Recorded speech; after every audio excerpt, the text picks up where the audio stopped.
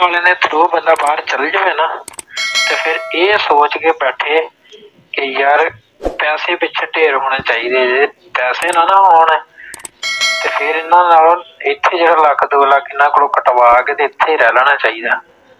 ਜੇ ਇਹਨਾਂ ਦੇ ਥਰੂ ਬੰਦਾ ਬਾਹਰ ਚਲੇ ਜਾਵੇ, ਤੇ ਫਿਰ ਅੱਗੇ ਜਾ ਕੇ ਫਿਰ ਪੈਸੇ ਹੀ ਪੈਸੇ ਹੋਣੇ ਚਾਹੀਦੇ ਬੰਦੇ ਕੋਲ। ਇਹ ਨਾ ਸੋਚੇ ਕਿ ਉੱਥੇ ਕਮਾ ਕੇ ਮੈਂ ਕਰੂੰਗਾ। ਕਮਾਣ ਕਮਾਉਣ ਵਾਲਾ ਕੰਮ ਕੋਈ ਨਹੀਂ ਉੱਥੇ। ਅਜਸਾ ਦੇ ਥਰੂ ਹੀ ਕੀਤਾ ਸੀ ਭਾਈ ਅਪਲਾਈ ਮਾਸ਼ਾਅੱਲਾ ਸਾਲ ਬਾਅਦ ਬੜੇ ਔਖੇ ਕਾਗਜ਼ ਲਏ ਸੀਗੇ ਤੇ ਨਾਲ ਪੈਸੇ ਵੀ ਕਟਵਾਏ ਸੀ। ਏਡੀ ਮਾਸ਼ਾਅੱਲਾ ਚੰਗੀ ਏਜੰਸੀ ਹੈ ਕੋਈ ਨੀ ਅਗਲੇ ਜਾਣ ਜਾ ਕੇ ਭੁਗਤਣੀਆਂ ਪੈਣਗੀਆਂ। ਇੱਥੇ ਦਾਰੀਆਂ ਰੱਖ ਕੇ ਤੇ ਮੂੰਹ ਦੇ ਉੱਤੇ ਮੂੰਹ ਬਣਾ ਕੇ ਬੈਠੇ ਆ ਨਾ, ਅਗਲੇ ਜਾਣ ਜਾ ਕੇ ਭੁਗਤਣੀਆਂ ਪੈਣਗੀਆਂ, ਅਲਹਮਦੁਲਿਲਾ। बिसमीम अल्लाम उम्मीद करता हूँ आप खरीत से होंगे, अल्लाह ताला की रहमतें और बरकतें समेट रहे होंगे। दोस्तों, आपने ऑडियो सुन ली।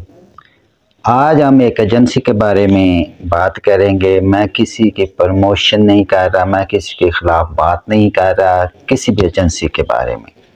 सिर्फ़ अपनी राय का इजहार कर रहा हूँ और इस दोस्त के राय आपके सामने मैंने रख दी है। ऑडियो में और कुछ स्क्रीन आपके सामने चल रहे होंगे, जो दोस्त इजसा इंटरनेशनल वालों की तरफ़ से जिन्होंने अप्लाई किया हुआ था, उनके क्या राय है? अच्छा जी, जब 2018 और 2019 में रोमानिया के वर्क परमिट स्टार्ट हुए थे, काम शुरू हुआ था तो ये दो एजेंसियाँ मेन थी हैप्पी होम और इजसा इंटरनेशनल ठीक है, मेरे अपने दोस्त, मेरे अपने गाँव के लोग भी इजसा की तरफ़ के थ्रू गए हैं। आज हम बात करेंगे सिर्फ़ इजसा की। अच्छा जी, इजसा इंटरनेशनल लाहौर में है, ये college road, Mumtaz plaza second floor में इनका दफ्तर है। इनके ऑनर हैं जी तबसम इनका मैनेजर है, और नईम साहब इनके ऑनर हैं सीईओ कह लें, या मैं हेड मैनेजर कह रहे कुछ भी आप कह रहे ऑनर नईम साहब हैं। माशाल्लाह जी, बहुत अच्छी पर्सनैलिटी है। नमाजें भी पढ़ते हैं, दाढ़ी भी उन्होंने रखी हुई है तबसम साहब ने। स्टार्टिंग में इन्होंने बहुत अच्छा काम किया, बहुत ज़्यादा वीज़े स्टम्पिंग हुए, बहुत ही जायज़ और मुनासब कीमत में इन्होंने लोगों को बेचा 2018 और 2019 में जो इनका रेट था, डेढ़ लाख से लेके साढ़े तीन लाख तक इन्होंने लोगों को रोमानिया में बेचा है, रोज़गार लगवाए हैं। फिर जैसे जैसे मार्केट में इनका सिक्का चलने लग पड़ा, ये एक ब्रांड बन गए।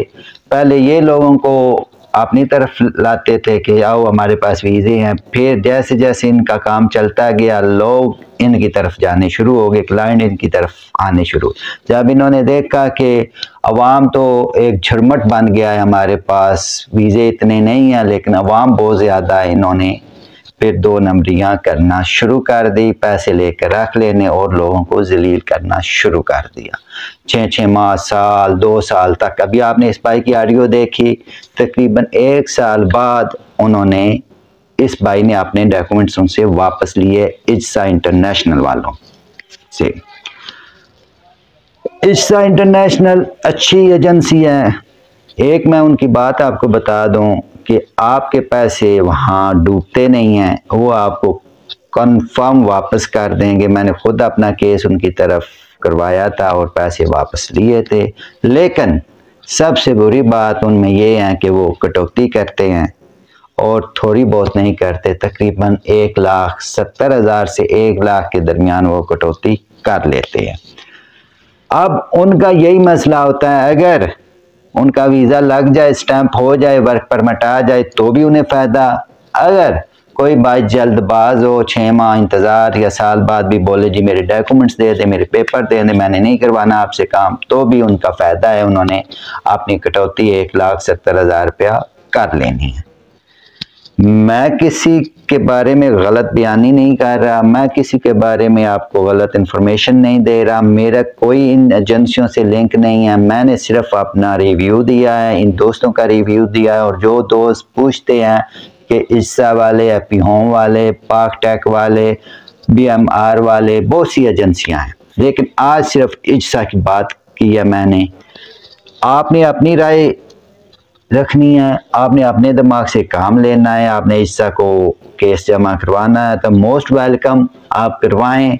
लेकिन दोस्तों के जो ख्याल थे हज़ार ख्याल था, वो मैंने आपके सामने रख दिया उम्मीद करता हूँ आपको वीडियो अच्छी लगी। अच्छी लगे तो इसे शेयर लाइक लाजमी कर दे। भाई को दुआ में याद रखिएगा। अल्लाह